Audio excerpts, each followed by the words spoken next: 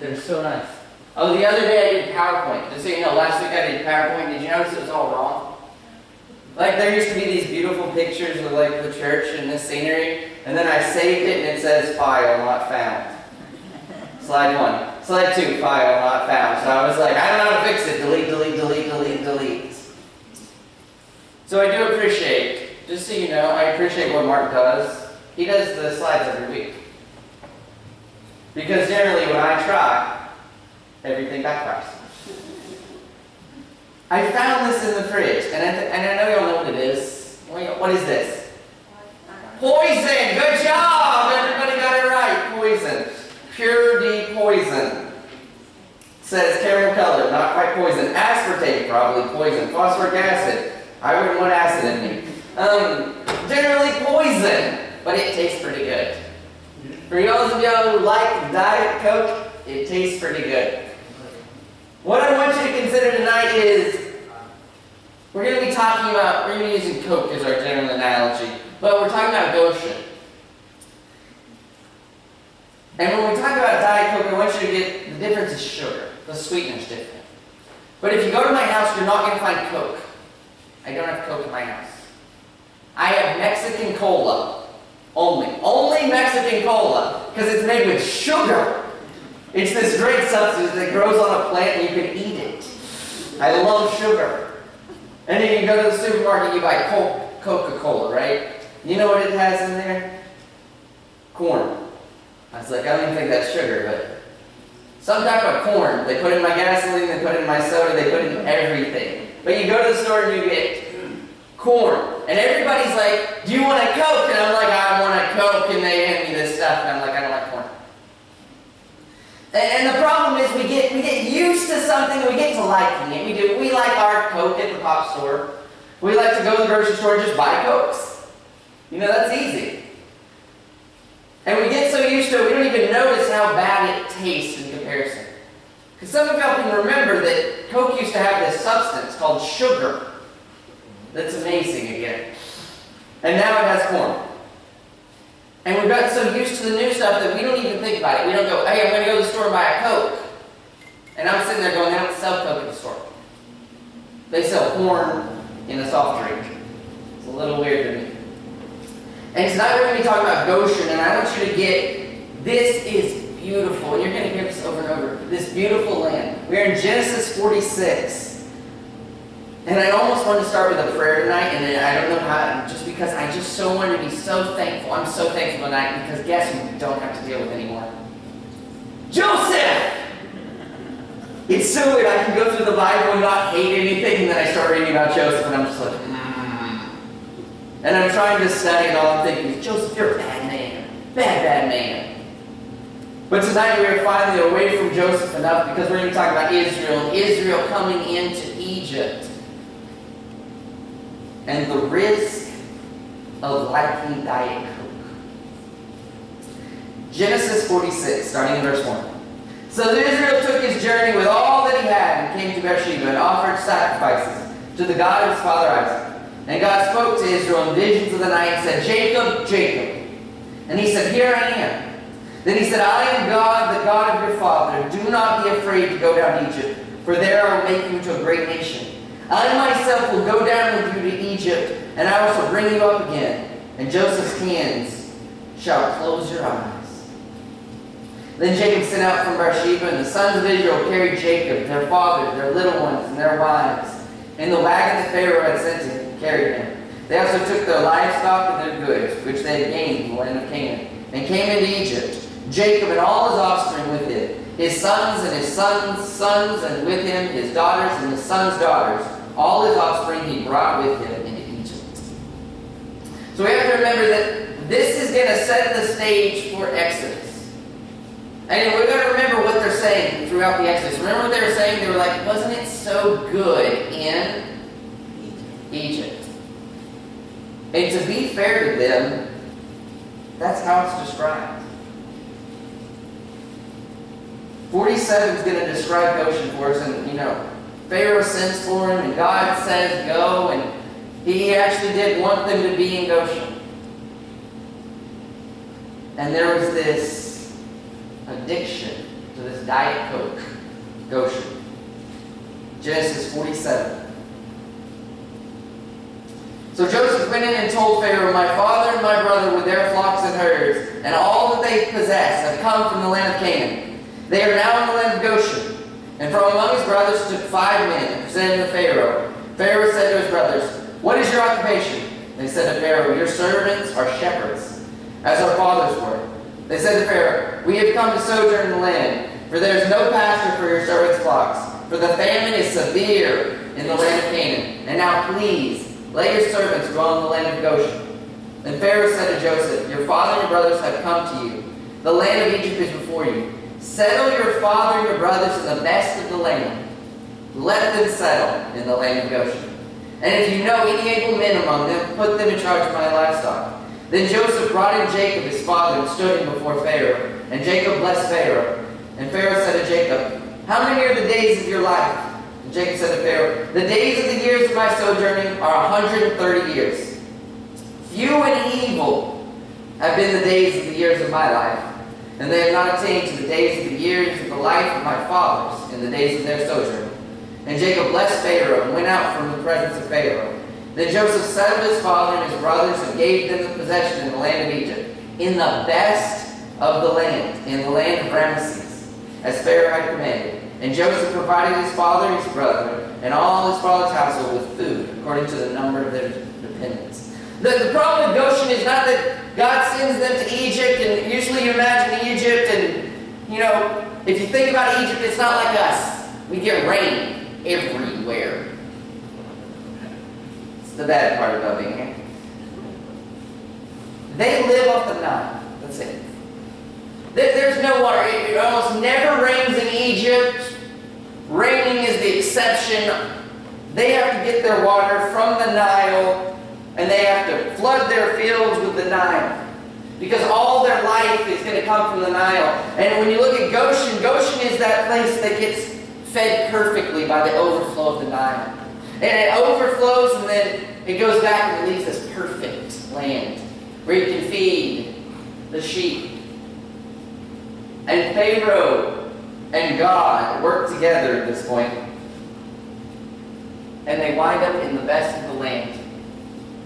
The very best of land. They wind up in Goshen because their shepherds and their sheep need good pasture.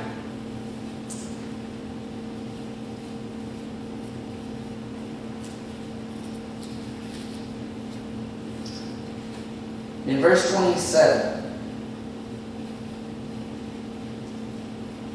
we hear the charge though. They just went to the best of the land, the best of the land, and he's about to tell them something that's going to shock them all. You're going to a beautiful place, an amazing place. Verse 27. Thus Israel settled in the land of Egypt, in the land of Goshen. And they gained possession and were fruitful and multiplied greatly. And Jacob lived in the land of Egypt 17 years. So the days of Jacob, the years of his life were 147 years. And when the time drew near that Israel must die, he called his son Joseph and said to him, If now I have found favor in your sight, put your hand under my thigh and promise to deal kindly and truly with me. Do not bury me in Egypt. But let me lie with my fathers. Carry me out of Egypt and bury me in their burying place. And he answered, And I will do as you have said. And he said, Swear to me. And he swore to him. Then Israel bowed himself upon the head of his bed. God never intended for them to stay in Egypt, but to think about being in Egypt. Think about arriving in a place where you're happy, you're content, you're fruitful, you're multiplying. That's Goshen. It's that Diet Coke. It gets you through. It covers it up. And, and then you have to realize he's already put in motion this. Jacob said, don't bury me here. This is not where you're at. And then later, we'll see it again in Joseph. Don't bury me in Egypt. I'm getting buried in Canaan when you come out of when you come out of Egypt. And now we put the story of Exodus in a very strong context. Because God allows something and God raises up Pharaoh. And it's one of those phrases that we get really uncomfortable because anytime we hear somebody doing evil and God being the person who raises up that evil, we obviously get uncomfortable. You imagine if he doesn't raise up Pharaoh and all they're seeing is Goshen, this beautiful land, and God is saying, You've got to leave Egypt. I'm going to give you a promised land.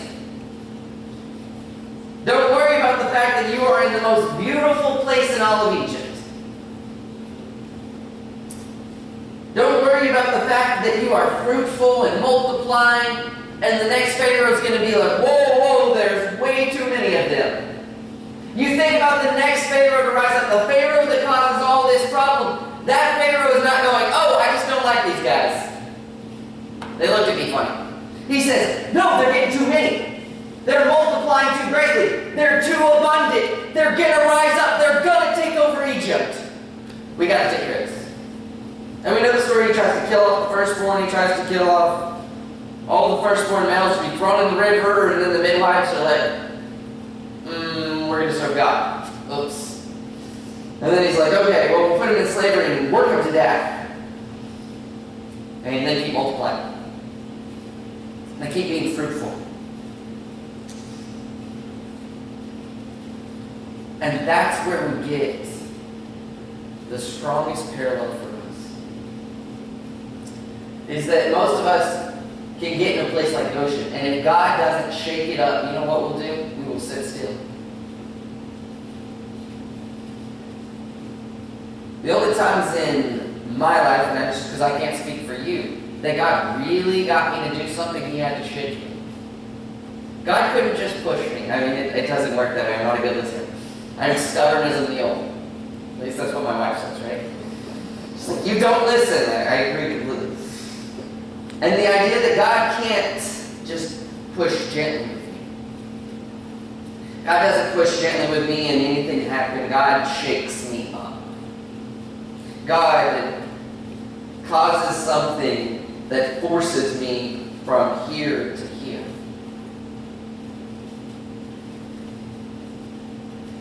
But the problem is, too many of us are very happy in Goshen.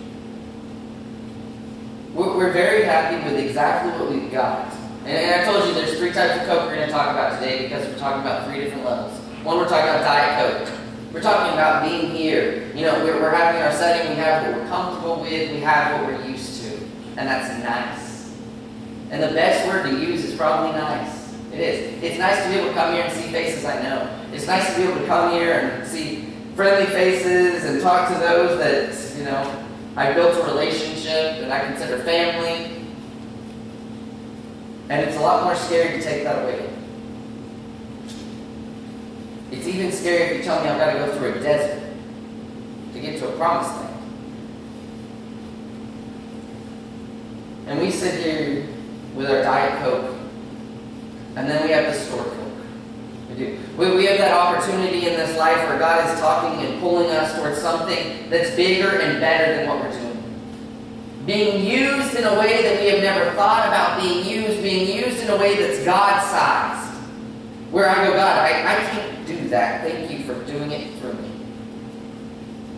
God, I, that's not in me. You're in me, and you can do whatever you want. So therefore, I guess I can do it, technically. You know, I can do the math. Me plus God is still just God, so I can do it. And it's that idea that you can stay with what you are right now, or you can say, God, I would like to see you. I would like to see you to a point where I'm going, I can't do that. I told y'all before, and some of y'all don't believe me, I'm not a good public speaker.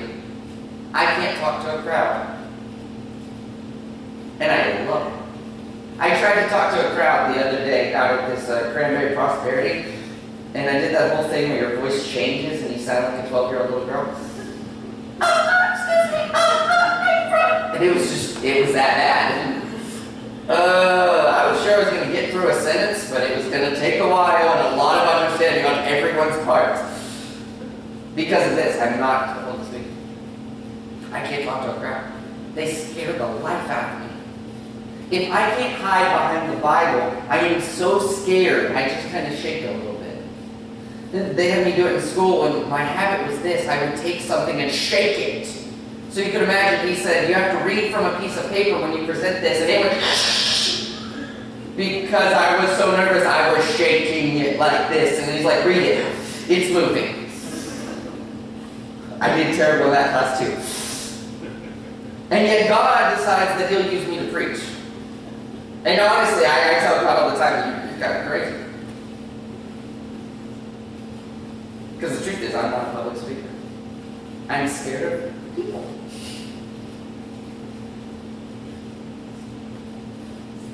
And how many of us can look at our lives and say they're really good? How many of us don't think we live in better than the land of Goshen? Because I hate to tell you, I'm going to describe the land of Goshen. I'm going to say it's fertile and beautiful and all this, and guess what they don't have? It makes sense because we just lost it on Friday. What did we lose? Power. Electricity. We lost power. And think about it, as we're all skirting, we're like, we don't have air conditioners when it's 78 degrees. Um, our problem. And we're sitting here and we're going, we don't have air conditioners, we don't have lights, we don't have all this. And let me describe Goshen, it wasn't that good. We, we have cars, we don't have to walk anywhere. We are so blessed that if we describe this as Goshen, it's an understatement. We live in a country that is so free that we just take it all for granted. We go, oh, you know, we have those freedoms. We could use them if we wanted to. We won't, though. And if we describe this as Goshen, it makes perfect sense to us to say we have it really good. And that's a really bad curse on us. Because most of us like our comfort. We're used to it. We're used to this comfort. If somebody came up to you today and said, I'm going to offer you a missionary trip, you're not going to have power. And you're like, okay, it's going to be 100 degrees without air conditioning. Okay, um, I'm still following. So good, so good. You won't wash your clothes for weeks on end. When you do, it'll be in the river. Oh, I, I was tracking until you said that. Oh, don't worry about the food. It's not near to the standard you're used to. Once you get used to eating the bugs, you'll probably enjoy it. While you're still picking them out, it won't be so fun. And if God called us to something like that, but yet said He wanted to offer us more, we could understand perfectly what happened in Exodus. Because God didn't say, it's right here, I'm going to lead you. Okay, He says, I'm going to lead you across a desert. I'm going to take you across a desert. And they're sitting there in Goshen going, do you know how good we have it? And today we're sitting there going, do you know how good we have it? And the biggest waste we could do is to be complacent and say, we've got something nice here. Instead of saying, I don't want nice. I've told you, I will leave this church, and everybody knows this, and the elders know this, and this is my rule. When I am happy with this church, I'm leaving. I, maybe a day, maybe a week after that. At the point I'm completely happy with this church, and I see nothing wrong with it, I will split. Because that is the worst preacher you could ever have. He's the one who came in here, comes in here, and he says, you know what, I'm happy with everything. I'm the kind who's like, you know what I want to see? I want to see extra chairs on the side. I do. I want extra chairs on the side some fire marshal coming in. Here. You can't do that! And I'd be so excited. Ah! I agree, we shouldn't do that. That's what I imagine. I imagine like chairs right here and everybody goes, well, why do we have the extra chairs? We need them. That's where I fit. And that's what I want you to join me in is this idea, this vision, and say, okay, Goshen is great. I don't care. Goshen is great. I like the way things are going, but I don't care. I want something more. This is the one time where we're going to talk about greed and we're going to say, God gives us something we need to be greedy for. We need to be greedy for Him. It says, seek Him and Righteousness, and all these things to be added to you. But we never start there. We seek all this stuff that will be added to you first. Instead of looking at it and saying, I'm not happy. I want more. I've got, I've got a desire for God to move and a desire to use me. And this is such a personal level because only God doesn't use a church. But the church builds each other. God uses individuals. It uses individuals who say, I understand how good I've got it, I want it better. I want it better. I want the best. I don't want the land of Goshen. I want Canaan. I want this milk and honey.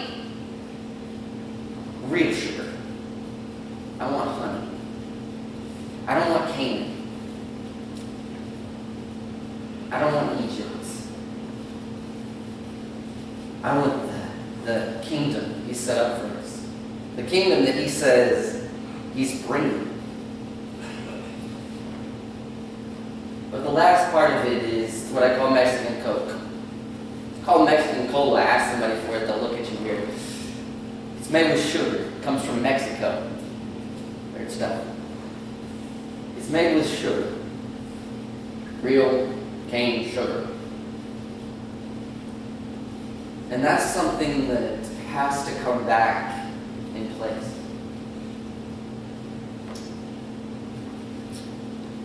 Because when you tell somebody about heaven, the best time to tell somebody about heaven is when they're not in Goshen. Christianity doesn't do well when a place is doing well. That's just the nature of Christianity. Think about who Christ said he came to call. He said, I came to call the sick, the hurting, the poor, the downtrodden. Does that sound like Goshen to anybody? I just described the Sahara to me. We are most effective when we are in the Sahara. When we are looking at people and going, I see you're in the Sahara, let me tell you about heaven. That means we have another risk. Another risk to say, I am happy here. I hate to tell you, if you're happy here, we've got problems. Because we need to have something that only exists within us, and it's this hope. And it's not a hope of, oh, you know, if I have God here, my day may go better. He may bless me. I may get this. I may get that. All these things will be added unto you. But this hope where he says, a hope of what is not seen. We don't hope for what we see. It's a hope for what we've never seen. It's this hope of heaven where we go, we understand what we have here and we understand it is filth. Because of what we're offered. Because of the heaven that the Bible describes. Because when God speaks of the promised land, he says that they will occupy all of the promised land. Guess what's never in the Bible? Anybody want to guess? Promised land is never occupied. Ever. And God said, right here, I'm going to take you back. And then he says, I'm going to give you a land. He said, it's going to be yours. You're going to, you're going to contain the whole of the promised land. And they sit there and they don't get it. There were iron chariots. I mean, they have good excuses in the Bible. It says there were iron chariots, so we didn't conquer them. They were up on the mountains. It was too hard to fight. Oh, we made a deal with them, so we couldn't kick them out because we made a deal with them. And there's story after story in the Bible of why we didn't get the promised land. But if God gave a promise, and He said there, is a Zion, as we like to say, I love that term. Oh, Zion, lovely Zion, I long thy gates to see. Y'all know it's talking about Israel, right? You know we're talking about the promised land. And then all of a sudden we realize that God said something and they didn't get the point. Because we speak of Zion and we must dream of the day we reach Zion. But how many of us can honestly here say we're dreaming of it? I'm going to tell you the truth. I sit here in my comfort with my friends and family and everything and y'all guys and I'm so happy. I just, I'm sugar high again. I'm happy.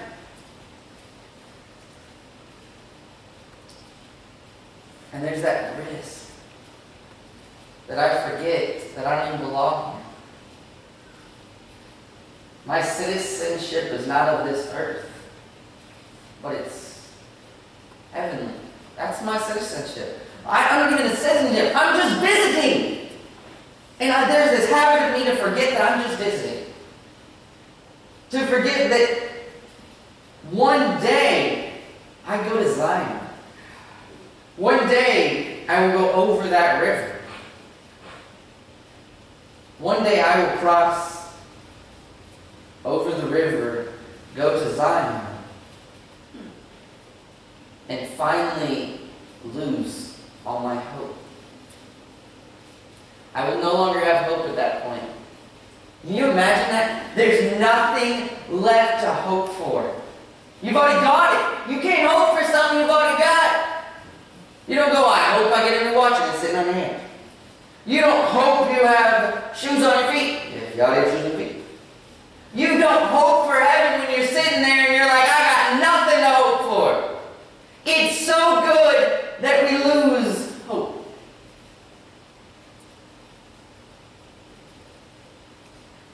And the reminder is this. We need to. We need to act like we are actually excited about it because I've seen hospice and I've seen atheists die and I've seen Christians die and I just want to tell you there wasn't a lot of difference in a lot of them. But then there were those few. Those few that just, ooh, ooh they challenge your faith. They, I don't, I don't even know what they were saying half the time. I just knew they were excited. They're so far gone, like they don't even make sense with their words, and all you can tell is just, ah, and you're like, your face says a thousand words. Right now, I know what you're thinking. I understand what you're saying. I'm like, are you excited about going to heaven? And it's just like, ah. I don't care. That was amazing. Let me see that smile again. Let me see that joy that you have where you're sitting there and you're going, this world has problems. This world has things that heaven can't even imagine. No tears, no pain, no suffering, no age, no death, no losing people, no losing friends, none of it. And you sit there and hope, and you. It's the idea of not having anything to hope for. I'm such an anxious person anyway. I'm always waiting for something. And the idea that we sit in heaven and we've got nothing to hope for because it is just fulfilled, all of it. And we're just overwhelmed with the glory and radiance of our God. Overwhelmed with the presence of Christ.